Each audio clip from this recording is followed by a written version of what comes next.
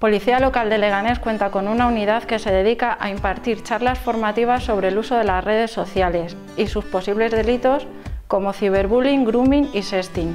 Solemos utilizar las redes para conocer gente nueva, encontrar personas con intereses comunes o en las relaciones que mantenemos con nuestros amigos a través de WhatsApp, Instagram, Facebook o Twitter.